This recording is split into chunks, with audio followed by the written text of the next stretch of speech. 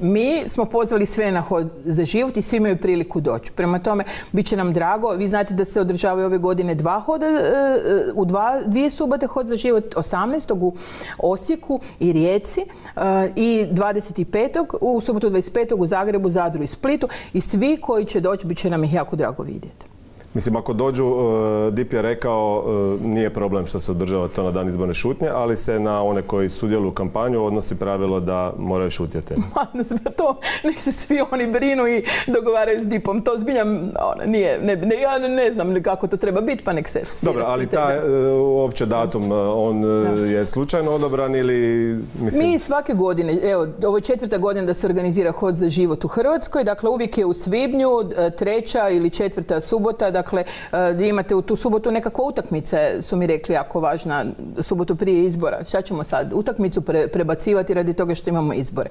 Prema tome, mi smo dvije te subote, su u različitim gradovima ljudi rekli kako kome paše, tako su organizirane i ja smatram da je to odlično vrijeme za hodati i pokazati u Hrvatskoj ima jako puno ljudi koji se zalažu za zaštitu ljudskog života od začeća do prirodne smrti. Nemate namjeru utjecati time na drugi dan, odnosno na izbore. Mislim, smisao Hode za život je poticati ljude da e, pokažu e, svoju svoje vrijednosti, da, da u jednom super raspoloženju, pozitivnom, potvrde znanstvenu činjenicu da život počinje začećem i da ga treba štiti. To je naš cilj i mislim da svi koji sudjeluju u organizaciji, to je njihov cilj. A sad kako će se to odraziti na druge stvari koje se događaju, to ćemo vidjeti. To zbiljam nije na nama. Jel? Ali da mi sad prebacujemo hod za život u šesti mjesec radi toga što su izbori. Dobro, pa mogli ste i 18. Da, svugdje 18. odraditi. Je, 18. je, u dva grada. Kažem, mogli ste sve odraditi 18. mogli smo, mogli smo sve petog, ali mislim, drugi put ćemo pitat e, premijera Plenkovića kada mi radimo hod za život, pa ćemo onda to tak raditi da on bude zadovoljan. Dobro, pretpostavljam da drugčiju odluku DIP-a niste ni očekivali na onu prijavu pa mislim,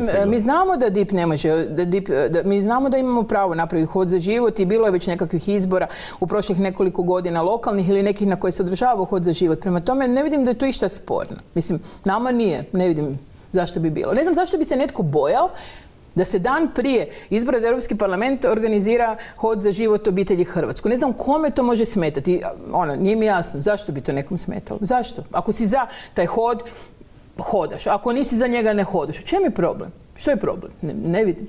Kome to može škoditi? Koga može to dovesti u nezgodnu situaciju? Pa valjda niko ne glumi da je za nešto za što inače nije. Pa, mislim, dobro, e, recite nam još na kraju hod za život vezan je, e, rekli ste samo uz pravo e, na život.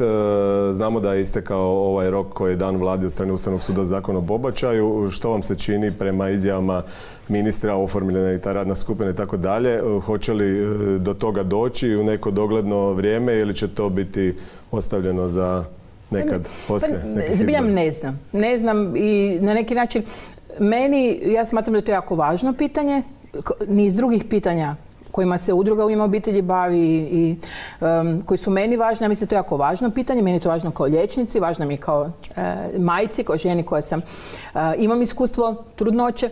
Važno mi je, mislim da se o njemu treba razgovarati. Mislim da razgovor o tome da, da se sve svodi u toj debati na to da li je ono što žena nosi u svom trbuhu čovjek. Ako jest, a znanost kaže da jest, onda ja smatram i očito puno drugih ljudi smatra da taj život treba štititi od početka do kraja.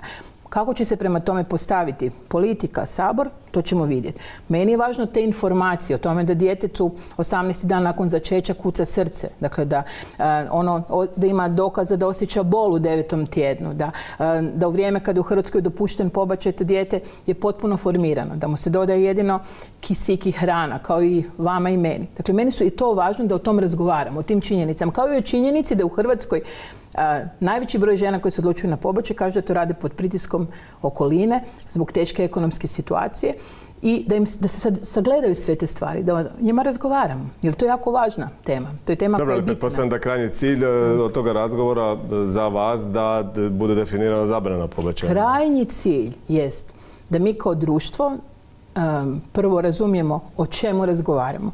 Vi najčešće ne znate o čemu u društvu se ne zna o čemu se razgovara jer se neprekidno e, rade tabori i lijepe etikete. Evo pa sada pitate ljude koliko ljudi razumije da je ova mirovinska reforma stupila već na snagu. Većina bi vam rekla da još nije.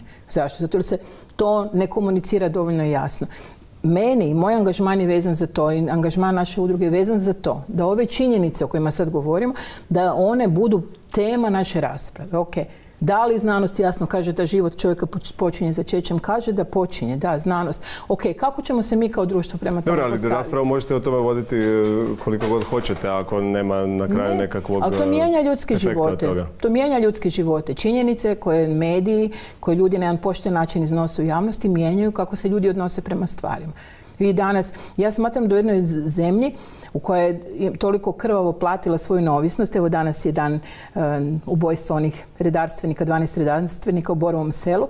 Dakle, da je jedna država kao Hrvatska, koja u svojoj novijoj povijesti ima nešto što nema niti jedna druga država u Europskoj uniji, a to je da sad, evo, taj brat od našeg zastupnika Cule je na današnji dan ubijen u Borovom selu. Ok, on je tad imao, ne znam, 25 godina. To je cijena koja je plaćena da bi mi imali državu. Ok, meni je važno da u toj državi mi razgovaramo o stvarima koje su toliko važne kao ljudski život.